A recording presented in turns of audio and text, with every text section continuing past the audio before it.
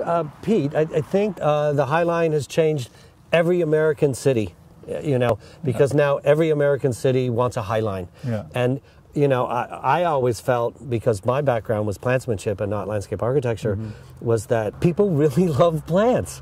And if you put really good plants in front of people, they'll come for it, you know? Yeah, that's I what I always so. felt. I'm a good designer too, but uh, I can say because I've made beautiful little gardens, you know, sculptural gardens and so on. But plants, I think, always were my passion since I met them.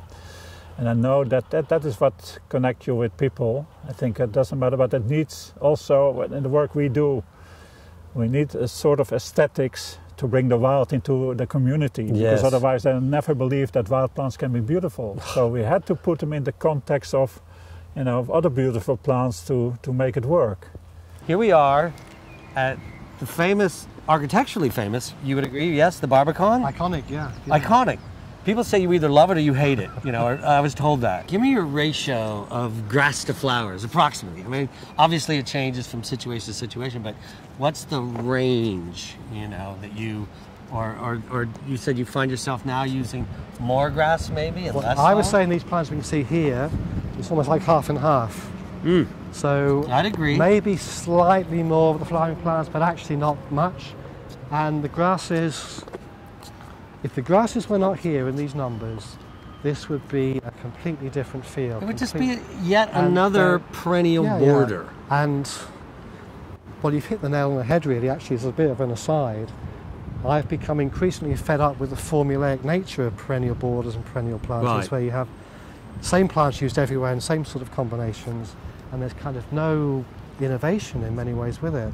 Right. so you won't find this anywhere else. This combination. No, and that's this what is- I'd like to try and do. This Unique is so combinations all the time. It's diverse, but it's simple at the same time. It is. I love it. The way it's I designed to doff work. my cap. well, I've heard so much about this garden, and it's taken me a long time to get here, but I finally got here.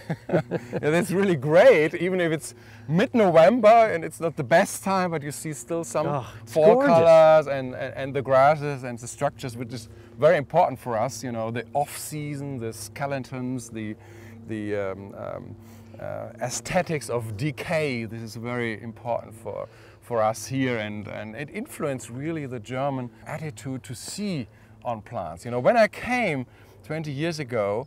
The garden was cut down by 1st of November. Can you imagine that?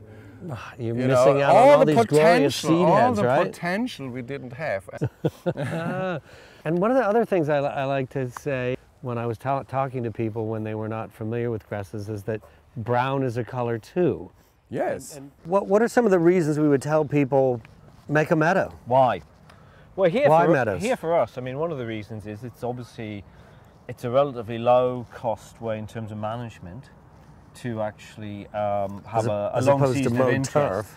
I suppose a mown turf. I mean, you know, here, here, here we have it. You, know, Right. you could have this, or you could have that. Okay, that's sort of a drop the mic sort of thing, right? I mean, you got this or you got this. Well, I mean, obviously, the, the, the and I think one of the challenges, you know, in this, is certainly in European cities, is to move away from this and only have this where you really need to have to walk around on to do things on. Sure. Um, So if we don't need to play soccer on it, If you don't need to run around it, lie on it, or whatever, or walk the dog on it, this is actually has multiple benefits. right? And I think it's interesting in this context because this is the entrance to, you know, like a financial sort of business, and therefore they're they're quite sensitive about their image, etc. And Yes. one of the things has always been how would people deal with the meadow? And what's been really interesting, the, the banking and financial staff inside, you know, they now when they cut this meadow, in, they, they get a lot of flurry of emails flying around saying, "What have you done to our meadow?" so you know, I think the meadow's been sort of like appropriated by by the staff. How many species would There's you say? about there's about 30, here? about 35 species in here, and and there's obviously.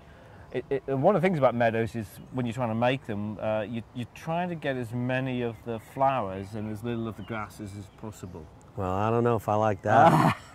Well, I know John is coming. It's a slightly different way to view the world, type thing. But if the, if you have fewer grasses, you get more flowers. If you Right. have too many grasses, you just get grasses.